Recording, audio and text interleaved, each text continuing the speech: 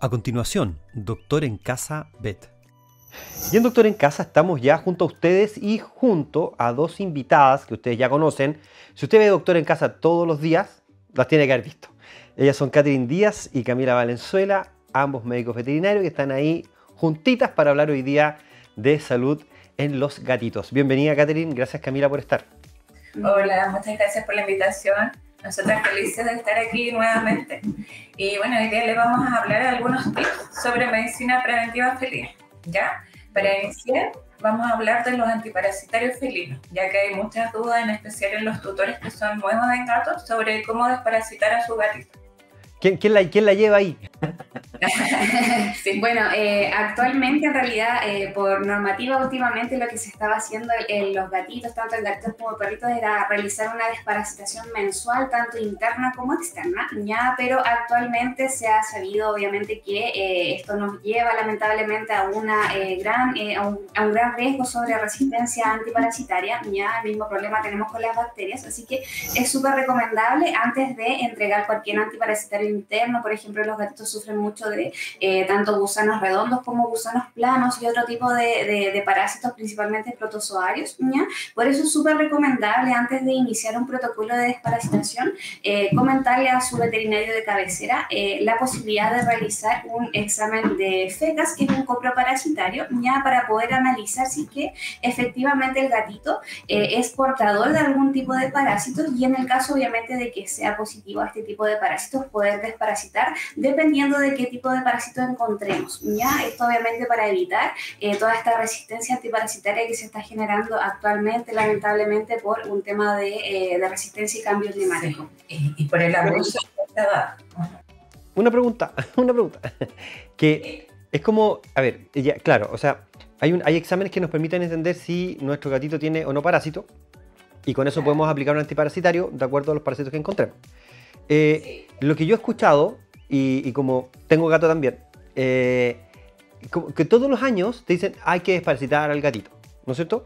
Pero pescan al gatito y lo desparasitan, pero, pero no sé si le hacen los exámenes, como que es como por regla desparasitar al gato. Eh, eh, eso, eso se hace como en forma muy mecánica. ¿Estoy bien en esto? Sí, sí, de hecho es lo habitual y ocurre también en muchos de nuestros colegas veterinarios que igual desparasitan cada tres meses y hay algunos eh, que desparasitan cada un mes, que pudiera ser perjudicial para lo que dice Camila de la resistencia de estos parásitos. Entonces puede ser que ya no nos sirvan a futuro los antiparasitarios convencionales. Entonces, por ejemplo, lo que hacemos acá con nuestras gatitas que vienen con nosotros, la pirata, por ejemplo, eh, le hacemos examen de fecas, que es el coproparasitario que igual nos hacemos nosotros los seres humanos, y ahí dependiendo de los hallazgos, vemos con qué desparasitar, que en teoría es lo más correcto ya para no desparasitar a ciegas. Correcto. Ahora, pregunta, uno debe hacer el examen, pero eh, ¿hay algún, eh, uno debería desparasitar los gatos una vez al año, como, como, de regla, una vez, al año, dos veces al año? ¿Cómo, cómo se hace eso?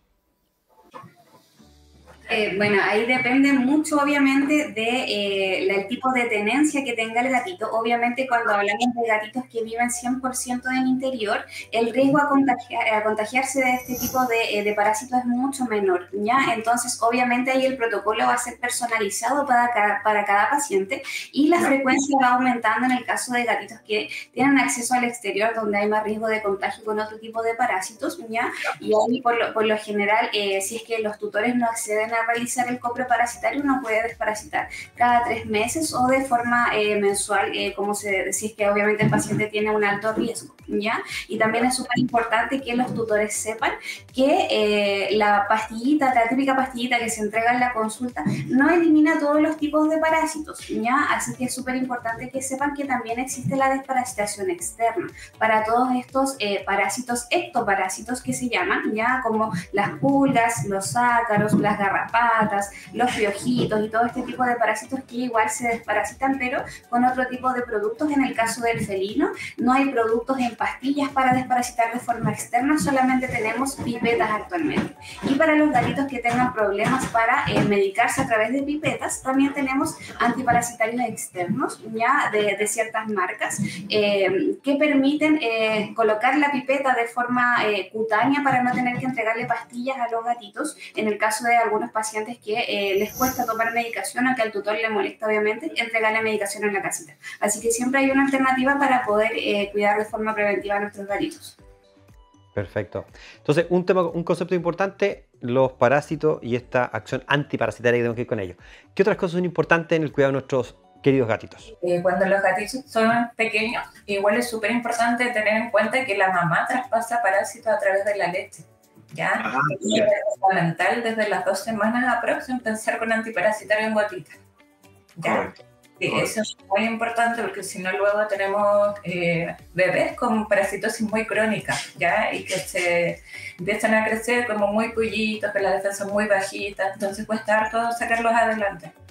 Es como el, el, gatito que está muy hinchadito, igual que los perritos, como que en este abdomen muy abultado, que se nota que está muy parasitado.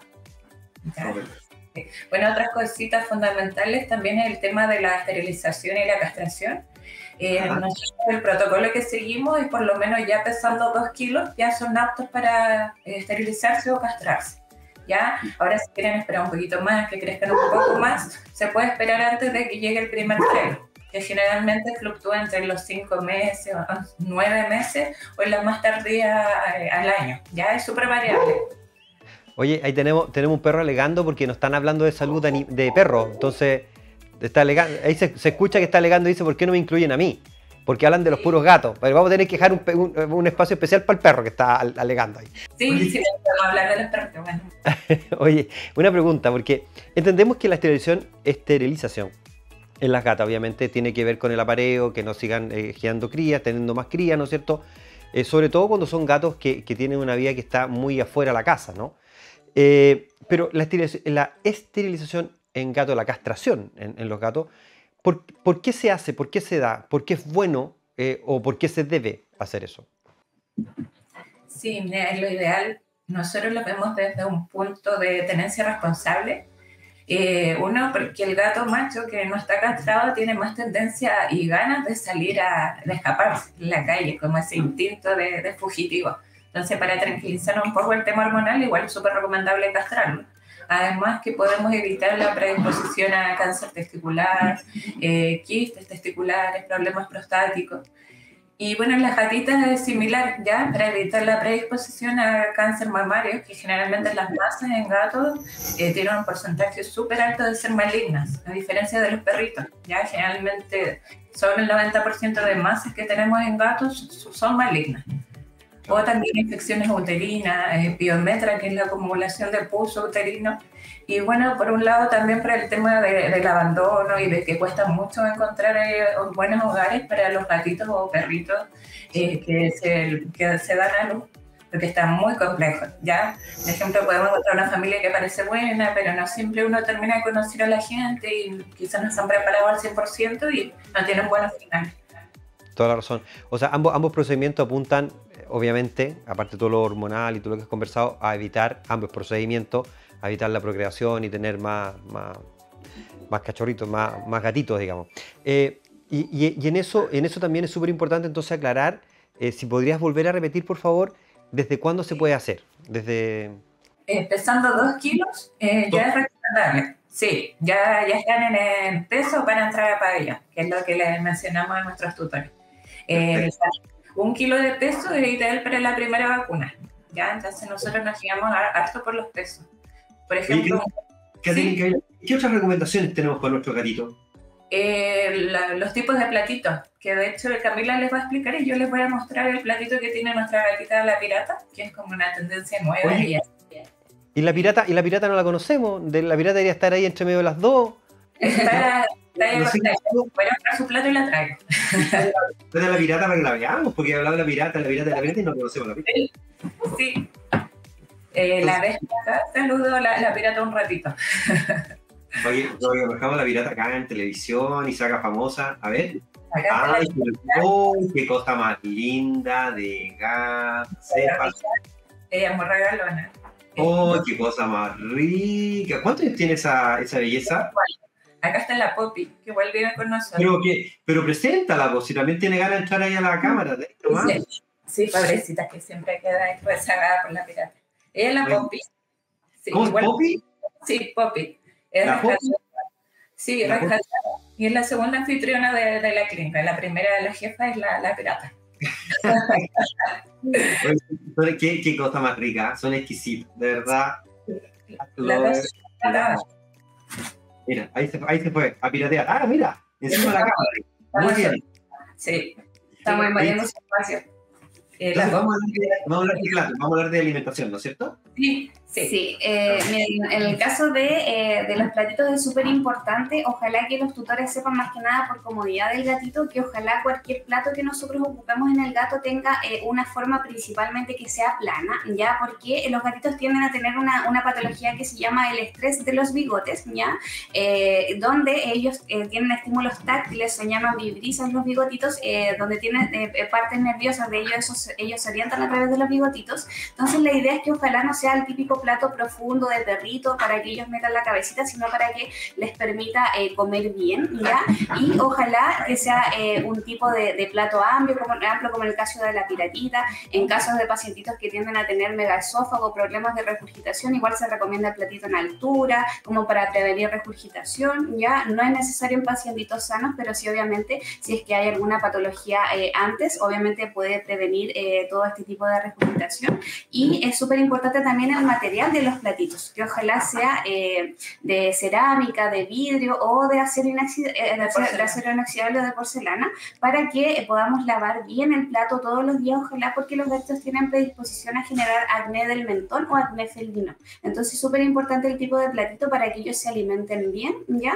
Eh, y poder, igual como conversábamos la vez pasada, ojalá eh, también entregarles las posibilidades de estos comederos interactivos para que puedan desarrollar, desarrollarse un tinto de casa. Buenísimo. Oye, consejos que son súper importantes. Muchísimas gracias, chicas. Tres consejos levantamos hoy, entonces hoy día. Eh, el tema de los antiparasitarios, ojo con eso, atención ahí para que hable con su médico veterinario. Dos, el tema de la manutención responsable de nuestras mascotas en el tema de la esterilización ¿no? o de la castración de nuestras gatitas o nuestros gatitos. Y el tercero es la correcta forma de alimentarlos para que no estén sufriendo y usted que a lo mejor en la casa está preocupado y dice, ¿por qué mi gatito no come? ¿Está estresado? ¿No come? Es posiblemente algo tan simple como que el plato que está usando, el plato del perro, y tiene que usar un plato especial, ¿no es cierto? Por esta hipersensibilidad que tienen sus bigotitos cada vez que se acercan a comer. Lo entendimos perfecto las chiquillas acá. Muchísimas gracias, querida Catherine y Camila, por estar hoy día con nosotros.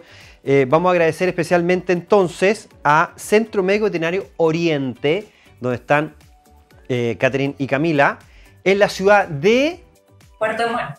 Por Puerto Montt, exactamente, en Puerto Montt. Así que para todos nuestros queridos sureños de nuestra patria, váyanse a Puerto Montt y atiéndanse ahí con la, eh, con la Camila y con la Catherine. Y por supuesto con la Pupi y con la Pirata, ¿no es cierto? Que va a estar ahí, que son las recepcionistas del centro. Sí, y hay más anfitriones, vivimos con hartos gatitos. Ah, sí, bueno. Hoy va a ser un programa especial, entonces vamos a tener que mostrar todos los gatos, para que sí, ninguno quede excluido. Así que, eh, queridos amigos, están viendo el programa ahí en, en, a, a, través de, la, de, de, las pantallas, a través de Doctor en Casa, en toda nuestra extensa red de canales, 64 canales regionales, 4 canales cable a lo largo de todo Chile. Eh, los quiero dejar invitados entonces para que eh, se metan al Instagram, ustedes me corrigen chicas, el Instagram, que es cmvet.oriente, C, que, es, que en el fondo es Centro, eh, Centro Médico Veterinario, cmvet.oriente. Métanse al Instagram y ahí pueden conversar con Caterina y Camila si tienen algún problema con su mascota. Hoy día hablamos de gatos, también atienden perritos y todas las mascotas que ustedes necesiten. Y eh, nada, agradecer el contacto, querida Caterina y Camila. Muchas gracias a ustedes. Muchas gracias. Que estén súper bien. Cuídense mucho. Eh, chao.